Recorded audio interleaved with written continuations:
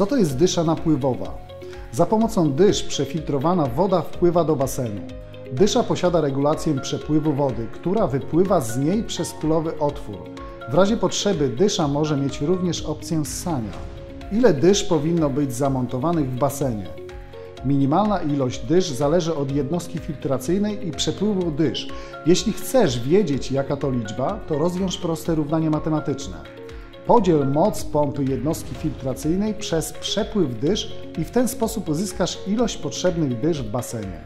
Gdzie powinny być zamontowane dysze? Dysze powinny być zamontowane po przeciwległej stronie skimera co najmniej 20 do 40 cm pod lustrem wody.